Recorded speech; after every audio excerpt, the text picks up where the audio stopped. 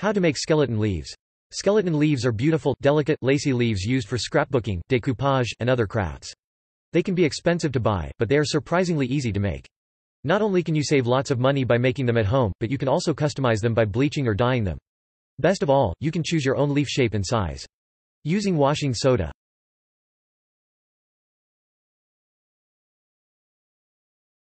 Place the leaves you want to use into a saucepan. However many leaves you choose to use is up to you, but avoid overcrowding the pot. You want to create an even layer across the bottom of the pot, at most.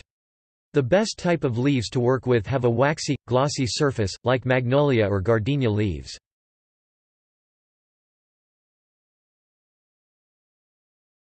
Cover the leaves with washing soda and water.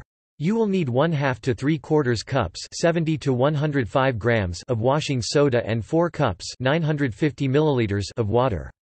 Give the solution a gentle stir to combine it.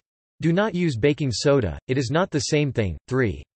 Washing soda is also called sodium carbonate, you can find it in the laundry section of grocery stores and supermarkets. 4.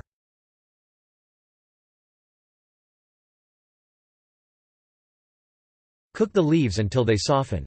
Bring the water to a boil over medium to medium-high heat first, then reduce it to a simmer. Cook the leaves until they turn soft.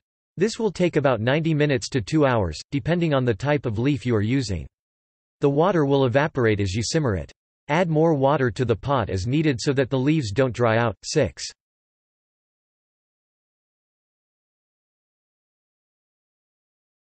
Remove the leaves from the water. Put on a pair of plastic or rubber gloves first. Next, use a pair of tongs or a spatula to remove the leaves from the water.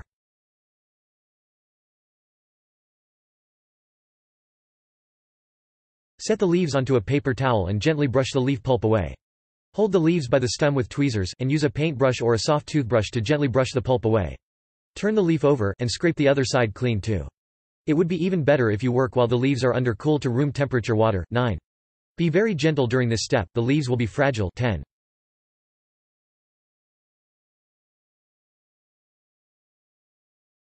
Rinse the leaves in fresh water once more. The leaves will be very delicate at this stage, so be gentle with them. Fill a tub with cool to room temperature water, then place the leaves in the water. Gently swish the leaves around, if needed. If the leaves still have residue clinging to them, change the water and repeat this step. Do not rinse the leaves under running water, the force of the stream will damage them.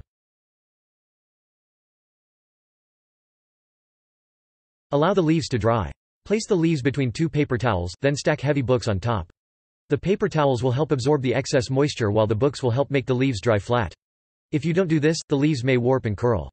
If you want curled or warped natural leaves, allow them to dry on a sheet of paper towel without anything on top. Since they won't have anything weighing them down, the leaves will warp naturally as they dry.